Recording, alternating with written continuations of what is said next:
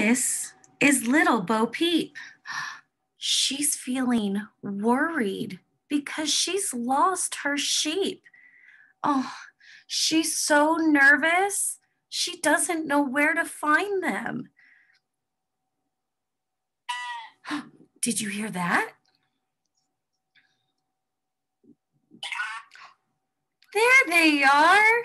They came home, wagging their tails behind them. She doesn't need to feel worried anymore. She found her sheep.